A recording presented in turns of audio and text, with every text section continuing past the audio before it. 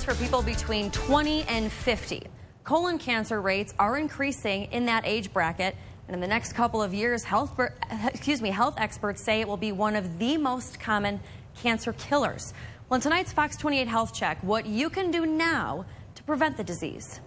It was something that kind of we just found out. At just 54 years old, Christine Kane's father's life was cut short by colon cancer. Being a nurse and um, and having that that history in there, it just you know you have a different outlook on it. At the South Bend Clinic, Kane says she educates her patients on a daily basis. I'm 40 years old and I've had two colonoscopies. About the importance of preventative health. It can save your life. Colon cancer is being diagnosed more often now. And those being diagnosed may surprise you. A lot more younger individual. When I mean younger, less than 50. Dr. Louis Naidia says in the coming years, the number two cancer killer will be colon cancer. A colonoscopy is such a good tool because it's not only for screening, it's also for prevention. The first sign of colon cancer are polyps. A polyp can have about five to 10 years to grow into cancer. Doctors say you should typically get your first colonoscopy at age 50.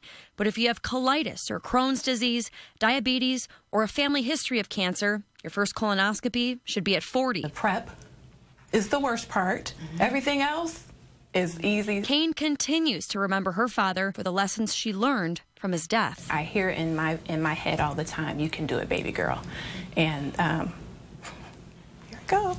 Um, just the perseverance every single day. You are not promised, and it doesn't matter what it is, but you can do it, and that came back. That came from him. So what can you do right now to take steps to improve your risk for colon cancer? Well, eating and maintaining a low-fat diet and avoiding foods with high preservatives, exercising and keeping an ideal body weight, and taking in more fiber that's been proven to promote bowel health.